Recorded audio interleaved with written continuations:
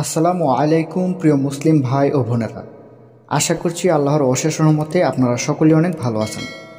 আপনারা অনেকেই জানতে চান দু হাজার চব্বিশ সালের শবে বরাত কত তারিখে? এর জন্য অনেকে গুগলে সার্চ করে থাকেন শবে বরাত কবে দু হাজার চব্বিশ সালের শবে বরাত কোন দিন এবং কোন তারিখে? তো তাদের জন্য আজকের এই ভিডিওটি অনেক গুরুত্বপূর্ণ হতে যাচ্ছে। তো ভিডিওটি না টেনে সম্পূর্ণ দেখবেন, সবাইকে সম্পূর্ণ দেখার অনুরোধ রইল। তো প্রিয় দর্শক, দেখুন শবে শব্দটির অর্থ হচ্ছে রাত বা রজনী, আর বরাত শব্দটির অর্থ হচ্ছে ভাগ্য। তাই শবে বরাত অর্থ হলো ভাগ্য রজনী।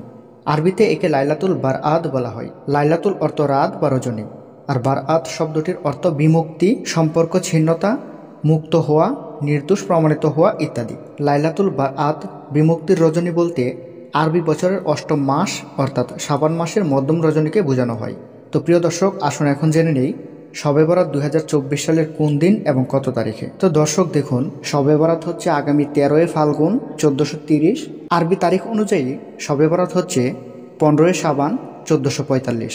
প্রিয় দর্শক, ইংরেজি তারিখ অনুযায়ী শবে বরাত উদযাপিত হবে ছাব্বিশে ফেব্রুয়ারি সোমবার দু হাজার চব্বিশ ইং তারিখে। তো প্রিয় দর্শক, এই ছিল শবে বরাত কত তারিখে হবে তার সঠিক ধারণা। তো ভিডিওটি ভালো লাগলে অবশ্যই একটি লাইক করবেন এবং আমাদের চ্যানেলে নতুন হয়ে থাকলে সাবস্ক্রাইব করবেন। আসসালামু আলাইকুম আল্লাহ হাফেজ।